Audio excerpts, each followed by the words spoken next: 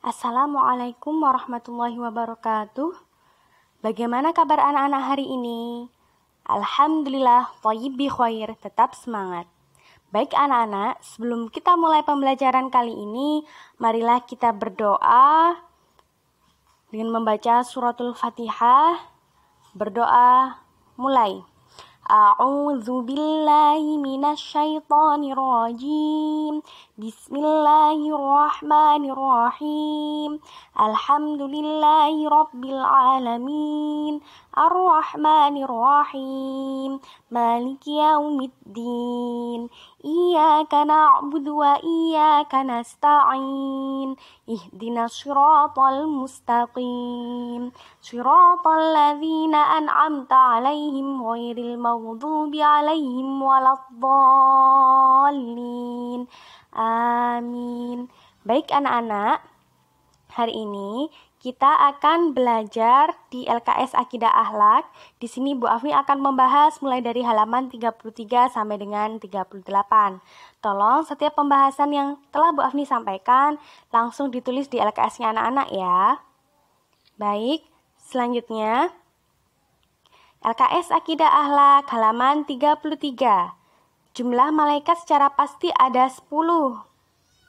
Tidak setuju ya, karena jumlah malaikat yang tahu hanya Allah. Malaikat Ridwan bertugas menjaga neraka. Tidak setuju karena malaikat Ridwan menjaga pintu surga. Nomor tiga, malaikat adalah makhluk Allah yang goib, yang selalu taat dan selalu bertasbih kepada Allah. Setuju. Nomor empat, malaikat dicipta oleh Allah Subhanahu wa Ta'ala dari nur atau cahaya. Setuju. Yang kelima, iman kepada malaikat Allah merupakan rukun iman yang terakhir. Tidak setuju ya, karena iman kepada malaikat Allah merupakan rukun iman yang kedua. Selanjutnya, di LKS Akidah Ahlak halaman 33, malaikat yang bertugas mencabut nyawa manusia. Nah, di bawahnya ada pilihannya ya. Kira-kira apa jawabannya? G malaikat Israel, malaikat yang mendapat sebutan Ruhul Kudus. E. Malaikat Jibril. Yang ketiga, iman kepada malaikat merupakan rukun iman yang kedua. C ya. Nomor empat, tugas dari malaikat Israfil. Meniup sangkakala di hari kiamat. Yang terakhir, hukum beriman kepada malaikat Allah adalah wajib. Yang B. Nah, selanjutnya anak-anak diperhatikan di LKS-nya untuk latihan ulangan tengah semester ya, halaman 34. Berikut ini yang bukan termasuk makhluk goib adalah manusia. Jumlah malaikat yang wajib untuk kita ketahui ada 10. Seseorang yang dapat menghafal, menghayati kandungan Asmaul Husna, serta mengamalkan ajaran yang ada dalam Asmaul Husna, maka ia akan mendapat balasan dari Allah Subhanahu wa Ta'ala berupa pahala. Asmaul Husna artinya nama-nama Allah yang baik. Yang menemani perjalanan Isra Mi'raj Nabi Muhammad SAW Alaihi Wasallam adalah malaikat Jibril. Orang yang menempatkan syukur dalam perbuatan sehari-hari yaitu dengan mempergunakan nikmat pada hal-hal yang diridhoi Allah. Nomor 12, wujud syukur dengan ucapan adalah dengan mengucapkan Alhamdulillahi Alamin. Perintah Allah kepada manusia untuk bersyukur berarti larangan untuk kufur. Nah, selanjutnya di halaman 35 menurut surah Ibrahim ayat 7 bahwa jika kita bersyukur atas nikmat Allah maka Allah akan menambah nikmat. Rasa syukur merupakan perwujudan dari terima kasih manusia kepada Allah. Bentuk rasa syukur seorang petani yang telah selesai memanen kebunnya adalah menyedekahkan sebagian hasil panennya kepada yang berhak. Pernyataan terima kasih kepada Allah atas nikmat yang telah dilimpahkan kepada kita disebut syukur. Nikmat yang diberikan Allah Subhanahu wa taala kepada kita sangat banyak sehingga kita tidak akan mampu untuk menghitungnya. Jika kita mensyukuri nikmat Allah Subhanahu wa taala, maka Dia akan menambah nikmatnya. Orang yang tidak mau bersyukur atas nikmat Allah maka akan menerima azab yang pedih. Maha pemberi rezeki disebut Ar-Razzaq. Rezeki semua makhluk dijamin oleh Allah. Selanjutnya, di LKS Akidah Ahlak halaman 36, ucapan yang tepat ketika kita menerima rezeki dari Allah adalah Alhamdulillah. Semua makhluk dijamin rezekinya namun kadarnya berbeda-beda. Arti dari nama Allah Al-Wahhab adalah Maha Pemberi Karunia. Malaikat selalu bertasbih mensucikan nama Allah Subhanahu wa taala. Makhluk ciptaan Allah yang diberi akal dan hawa nafsu adalah manusia. Makhluk gaib Allah yang ingkar terhadap perintah Allah adalah iblis. Berikut ini yang bukan tugas dari malaikat adalah memberikan harta kekayaan secara cuma-cuma. Malaikat yang mendapat sebutan Ruhul Kudus adalah malaikat Jibril.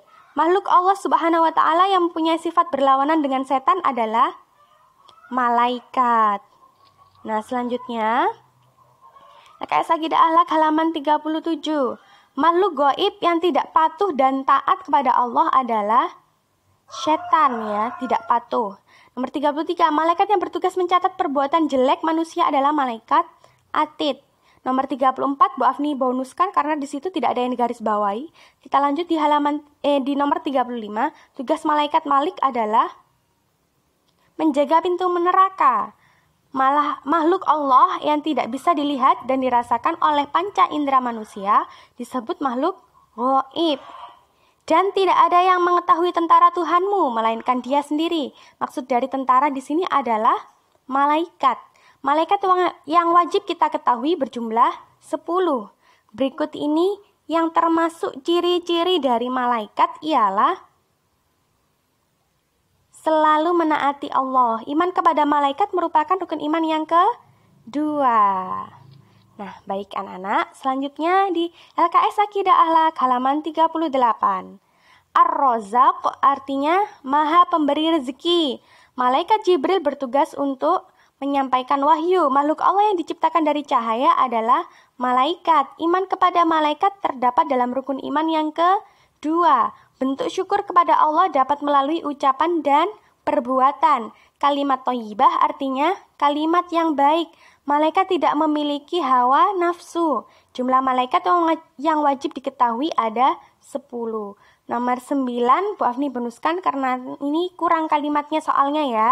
Apakah yang dimaksud maha pemberi rezeki atau maha pemberi karunia? Nah, itu belum jelas, jadi Bu Afni bonuskan yang nomor 9. Nomor 10, karena banyaknya nikmat Allah yang diberikan kepada manusia, sehingga nikmat itu tidak dapat apa? Dihitung oleh manusia. Nomor 1, jelaskan yang dimaksud Allah Al-Wahhab. Allah Maha Pemberi Karunia. Nomor dua, apa yang Allah janjikan terhadap orang yang bersyukur terhadap nikmatnya dan juga orang yang kufur terhadap nikmatnya. Kalau bersyukur, nikmatnya ditambah, sedangkan kalau kufur, memperoleh azab. Nomor tiga, berilah contoh perilaku syukur yang dapat kamu lakukan dalam kehidupan sehari-hari. Bersedekah dan beribadah kepada Allah. Nomor empat, sebutkan tiga saja hikmah beriman kepada malaikat. Menambah keimanan dan ketakwaan, ketakwaan terhadap Allah. Mendorong manusia untuk selalu berhati-hati dalam berucap dan bertindak yang terakhir, meningkatkan keimanan untuk mengikuti sifat dan perbuatan malaikat.